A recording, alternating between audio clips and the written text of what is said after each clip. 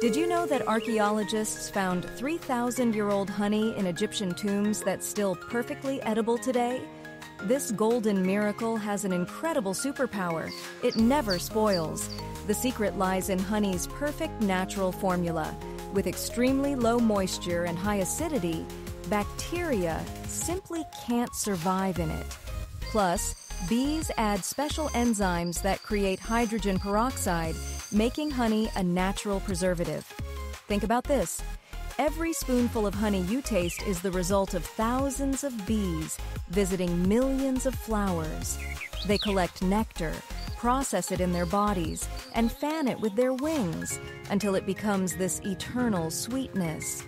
Ancient Egyptians knew its power, using it not just as food, but as medicine for wounds and sore throats. Some of their honey pots have outlasted empires.